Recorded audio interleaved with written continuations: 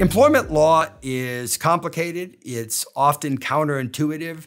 Sometimes people think they have rights that, that they really don't have under the law, and sometimes you have rights that you don't know about. So if something bad has happened to you in the workplace and, and you want to know whether or not you have a legal claim, come let one of our lawyers help analyze your situation for you.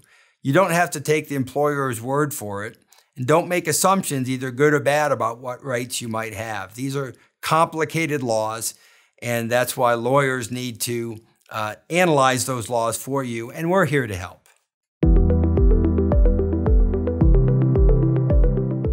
Well, essentially, you're going to be looking for two things. One is you want to have trust with a lawyer, and oftentimes the way you can have uh, your own sense of comfort and trust is is through a referral. If you were to ask your friends, folks that might have been in the same situation. Maybe if you're looking for an estate planning attorney, you find out from folks that you trust who they used and, and whether they like that. That's going to be a great first start.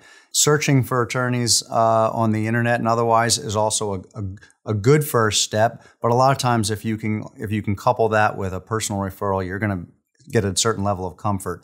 But that's not the end. I think the next point is when you go into the attorney's office and have an initial consultation. Not only are they uh, asking you questions and getting comfortable with you, but you should be asking them questions and getting comfortable with them. The way their, oper- their office operates, their billing practices, as well as the substance of your matter that you're bringing to them. You should be able to walk out of that initial consultation feeling comfortable that you generally know this person and, and you have a certain level of trust based on an initial consultation, of course.